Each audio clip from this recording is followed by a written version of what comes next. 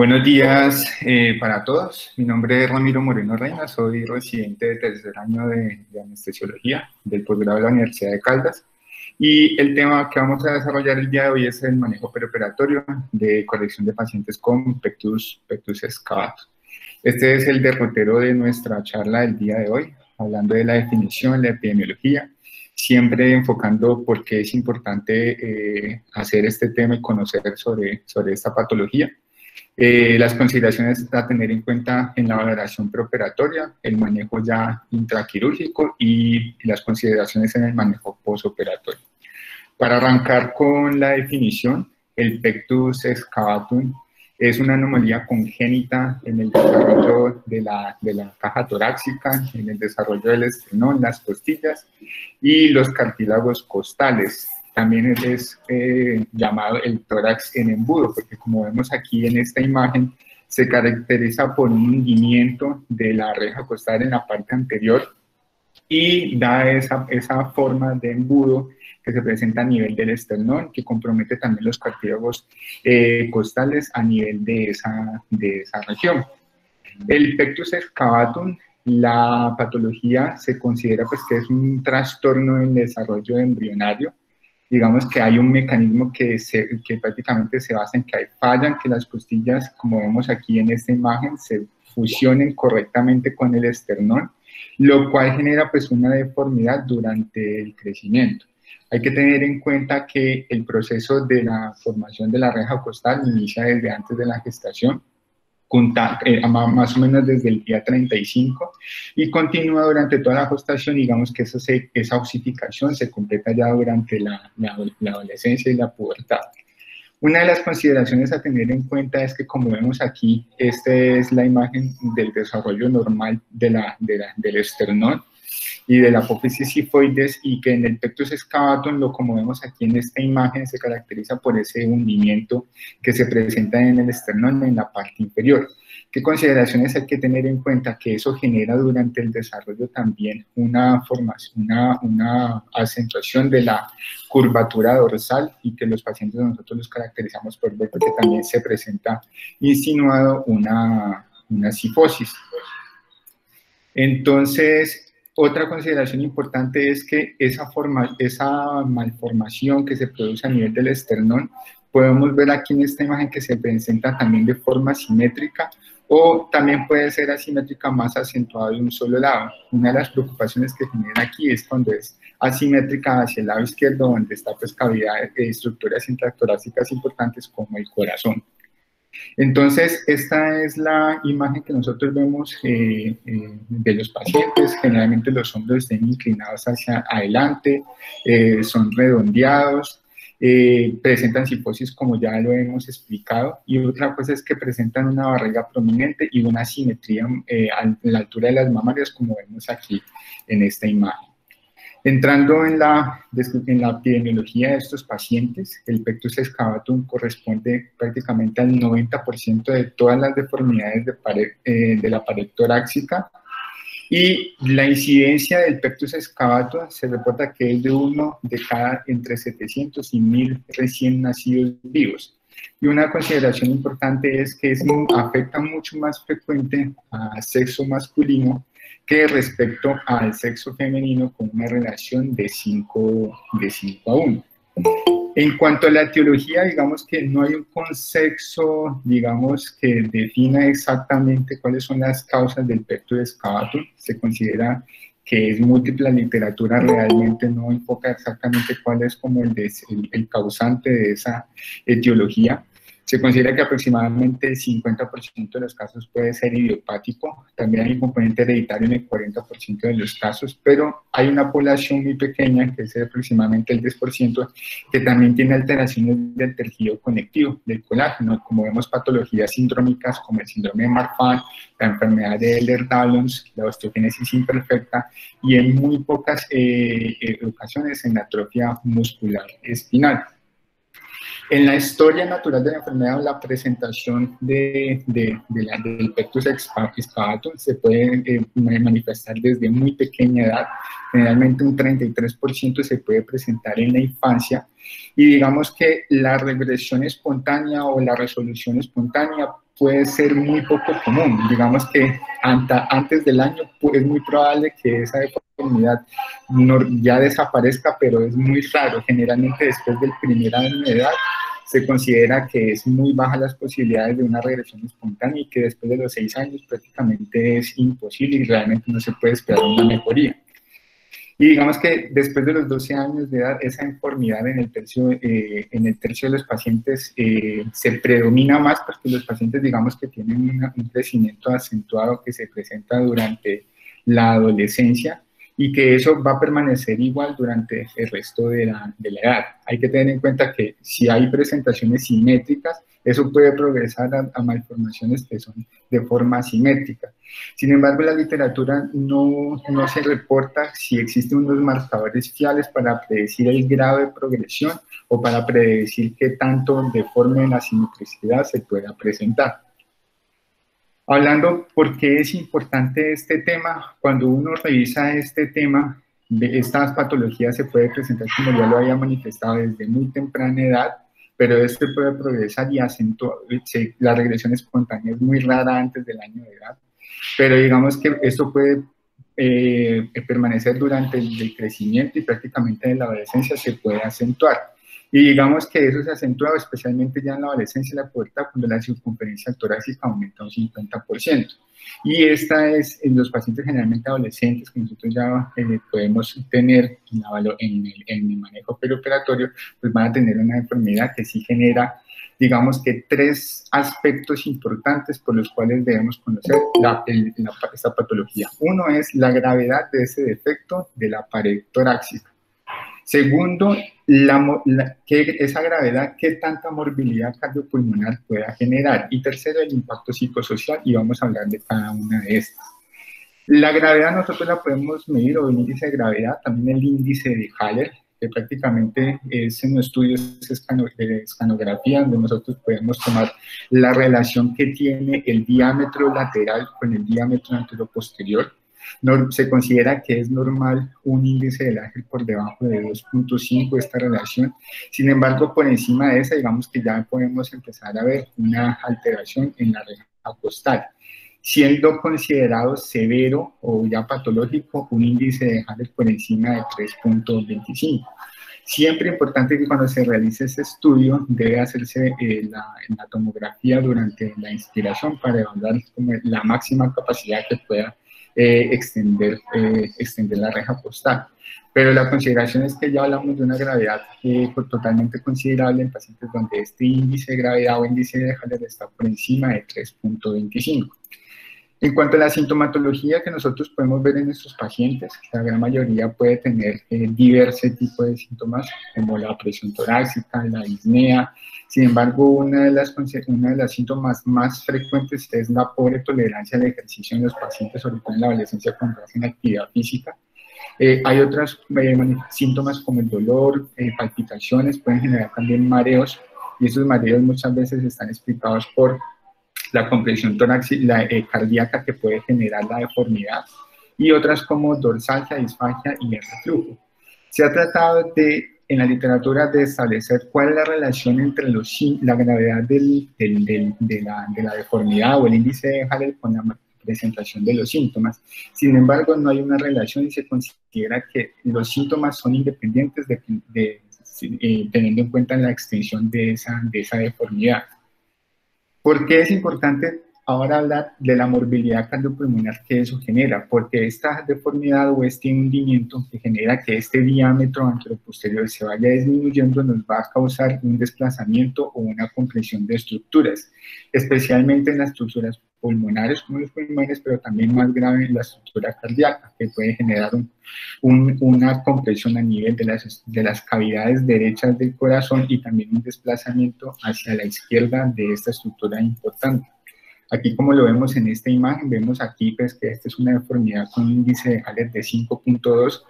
y vemos aquí que hay un compromiso prácticamente importante a nivel, eh, a nivel de, de, ventrículo derecho y, aurícula derecha y esos pacientes generalmente pueden tener sintomatología al respecto y debemos evaluar el por qué.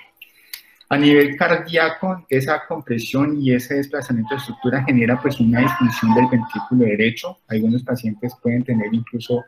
compresión de vasos grandes como la vena cava inferior o también más grave una compresión de la arteria pulmonar. Pero algo muy importante, que se estima que aproximadamente los pacientes con un índice de Hall por encima de 3.5 puede haber prolapso de la válvula mitral entre un 25 máximo hasta el 65% de los casos y esto genera unas anomalías en la conducción, esa, compromiso, esa compresión cardíaca, bloqueo de rama y también nos puede generar arritmias. Por eso es importante estudiarlo desde el preoperatorio. La compresión que se genera en estructuras eh, pulmonares, eh, hay que tener en cuenta que muchos niños como manifiestan es disnea y por tolerancia al ejercicio son mal diagnosticados como asma. Por eso es importante realizar pruebas de función pulmonar para establecer el grado de esa afectación pulmonar. En estos casos, como nosotros vemos aquí, hay un componente eh, restrictivo muy importante que explica eh, esa compresión a nivel de, las estructuras cardíacas.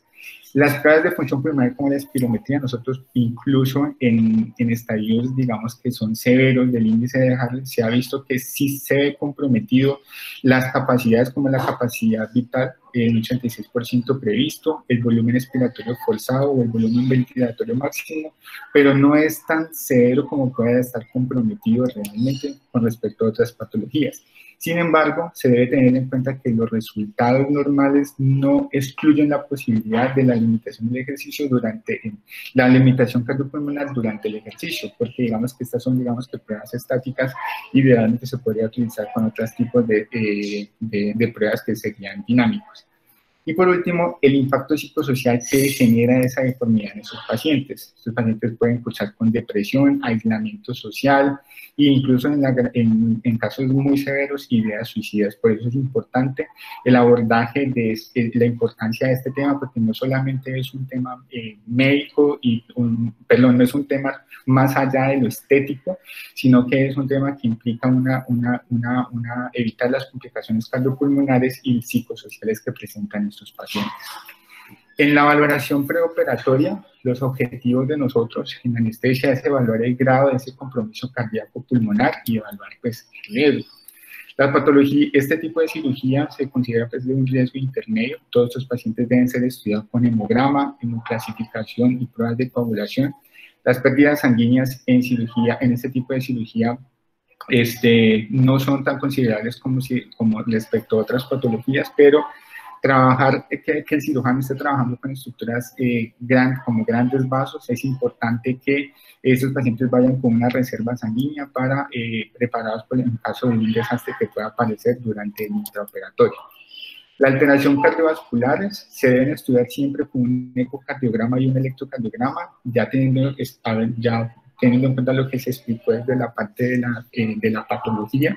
y la, la fisiopatología, las implicaciones que generan ese compromiso cardíaco y sobre todo buscando alteraciones, compromiso eh, de, del compromiso tricuspid compromiso de la válvula mitral, siempre es importante. Y las alteraciones pulmonares, digamos que todos los pacientes que tienen indicación quirúrgica, siempre se debe evaluar la presencia de enfermedad respiratoria restrictiva. Uno de los estudios que nosotros podríamos nosotros tener a la mano para eh, el estudio de esos de, esta, de este componente distintivo es la espirometría y evaluar esos, la capacidad vital forzada y el volumen respiratorio forzado en el primer segundo. Sin embargo, digamos que las pruebas de esfuerzo, digamos que son las pruebas más sensibles que las pruebas como la espirometría, porque pues esto ya genera un estudio mucho más importante del sistema cardiopulmonar y cardiopulmonar como tal. Sin embargo, muchas veces, pues esto generalmente, eh, eso implica unos costos que se deben tener en cuenta. Sin embargo, el abordaje debe ser integral, muy importante siempre estudiar la parte de las alteraciones y el compromiso cardiovascular que pueda generar. El manejo intraoperatorio de estos pacientes, pues eh, estos pacientes van con una monitoría eh, básica, generalmente donde esperamos nosotros evaluar y hacer un seguimiento continuo de la presión arterial, pues en estos casos generalmente no invasiva, electrocardiográfica, siempre la pulsoximetría y control de temperatura, muy importante, como ya lo hemos hablado también en, en otra charla, las implicaciones que esto pueda generar, porque nos disminuye el riesgo de infecciones postoperatorias, y también el de riesgo de sangrado. Eh, siempre en cirugía de tórax siempre hacer una monitoría de relajación neuromuscular, es muy importante, lo cual pues esto nos disminuye la incidencia de complicaciones en el posoperatorio. Si el paciente tiene un grado de relajación residual antes de la emergencia de, de la anestesia, es importante revertir completamente los efectos de los relajantes neuromusculares. Hay otras implicaciones que se tienen en cuenta dependiendo pues del procedimiento. vamos a hablar rápidamente de los procedimientos que están disponibles. La técnica de Ravitch se considera pues que se considera colocar, eh, hacer una, una, una, extirpación de los cartílagos que están comprometidos, posteriormente hacer una osteotomía a nivel del esternón en la parte más inferior donde está, eh, donde está comprometido y posteriormente dejar una barra debajo de este que pueda generar, eh, que, que, corrija ese grado de deformidad. Otra de las técnicas es, la técnica de, de, NUS, que la describió Donald, Donald Nuss desde 1997, que consiste en un, este es un procedimiento considerado mínimamente invasivo, digamos que hoy en día es uno de los procedimientos que más frecuente se hace para este tipo de, de patología, que consiste en un abordaje de la cavidad intratorácica a través de biotoracoscopia y posteriormente a nivel de donde está la deformidad se coloca una barra en esta posición y posteriormente se hace un giro de 180 grados haciendo quedando pues prácticamente eh, de esta forma como lo vemos aquí en esta imagen detrás eh, a, nivel, a, nivel de, a nivel intratorácico, con lo cual pues mejora ese grado de deformidad. Esta cirugía, ya les había comentado que es la técnica que más se usa, implica el uso de videotoracoscopia. Y esta es como quedaría posteriormente la barra de luz. Esta es una barra que queda aproximadamente con el paciente aproximadamente de, de 2 a 3 años y posteriormente se hace el retiro de esta.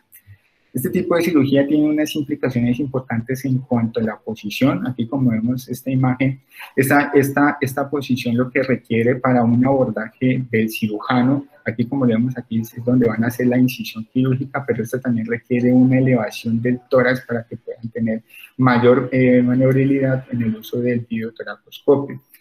Como se eleva el, el, el, tronco del paciente, siempre hay que manejar la vía aérea, evitar la hiperextensión de la columna cervical, como vemos aquí pues tenemos una adecuada alineación, y siempre, y los brazos abiertos, siempre vigilando que esto no quede a más de 90 grados con la finalidad de disminuir las lesiones de, de, de Otra de las... Eh, de, las, de los procedimientos que tenemos disponible es la autolinoplastia o el pectusap, que implica pues la aplicación de una barra a nivel extractoráxico, por lo cual se considera mucho menos invasiva. Eh, pero esto es una técnica nueva que se viene realizando desde, desde el 2012-2013 y sin embargo, pues también es una técnica que está disponible. Una de las consideraciones tanto en el manejo de la cirugía en NUS como la tablinoplastia es que los pacientes deben realizarse en el preoperatorio una prueba de alergia al material que se va a realizar en el que se va a realizar en, que se va a implantar. Y eh, para finalizar, digamos, en el manejo postoperatorio de estos pacientes hay que tener unas consideraciones importantes, lo cual nos genera un desafío para anestesia desde el punto de vista de la patología y el manejo quirúrgico que requiere estos pacientes. Esos dos desafíos están relacionados con las complicaciones que se puedan generar en el postoperatorio y el manejo del dolor en estos pacientes. Yo había mencionado que a pesar de que las técnicas que se están realizando hoy en día son mínimamente invasivas, pero en el caso de la técnica INUS, también es, hay que tener en cuenta que está trabajando con, muy cercano a estructuras intracardíacas y como en el corazón, como ya lo habíamos visto en la imagen eh, anterior. Las complicaciones pueden ser tempranas o pueden ser tardías, pero la que nos preocupa más son las tempranas, porque las dos, eh, tanto la técnica de Ravitz como la técnica de, de NUS, y genera, pues sobre todo porque está trabajando con estructuras cardíacas muy, y eh, estructuras, eh, las estructuras cardíacas, y el, el uso de videotoracoscopia, una de las complicaciones que pueden tener los pacientes neumotoras, derrame pleural, Eh, uno de los riesgos es la neumonía o la presentación de, de motoras, pero lo más que lo preocupa es el riesgo que puedan generar sus pacientes de pericarditis o arritmias en el posoperatorio. Por eso es importante que los pacientes que se hace intervención con técnica de NUS, es importante hacer una vigilancia por lo menos de dos a tres días en una unidad, una unidad de cuidados intensivos con la finalidad de tener una monitorización continua tanto de presión arterial sobre, y sobre todo electrocardiográfica para estos pacientes. Por otro lado, es el manejo del dolor. A pesar de que las técnicas, digamos que son eh, mínimamente invasivas, eh, genera realmente un, toda cirugía de tórax es considerada cirugía que es muy dolorosa. Y si no se tiene un adecuado manejo del dolor, esto, esto impacta positivamente para la, para la presentación de complicaciones respiratorias. Hablamos específicamente de, de, atelectasias y esas atelectasias posteriormente nos puede llevar a la presentación de neumonías. Retrasa una deambulación temprana y por otro lado retrasa el alta hospitalaria. Por eso es importante que en este tipo de patologías se tenga un buen control de dolor. Las técnicas o las opciones que nosotros podemos manejar incluso desde el intraoperatorio es la analgesia multimodal, eh, basada pues, en el uso de antiinflamatorios no esteroideos, Ketamina también se puede utilizar o infusión de exmetonina, que en algunos casos también se puede continuar en el posoperatorio con la finalidad de que esto nos haga un ahorro de opioides. Sin embargo, también están descritas las técnicas regionales como los bloqueos de nervios intercostales o los bloqueos paravertebrales. Sin embargo, el tiempo de duración no va a ser tan, digamos, tan efectivo como si lo va a ser la analgesia epidural torácica por eso, en este tipo de pacientes es preferible hacer un manejo con analgesia epidural, ubicando el catéter siempre a un nivel entre T5, T6 o T6, T7, lo cual la aplicación de un catéter epidural para, para eh, infusión de anestésicos locales de forma continua generalmente nos va a tener una buena calidad de manejo del dolor y nos va a favorecer la deambulación temprana, nos disminuye el riesgo de complicaciones posoperatorias, hablando específicamente de formación de atelectasias y neumonías en el, post, en el posoperatorio, y las escalas de dolor son, eh, digamos, son más moduladas y nos lleva a un, eh, un ahorro de opioides eh, que se van a utilizar en el posoperatorio. Muchas gracias por, por su atención.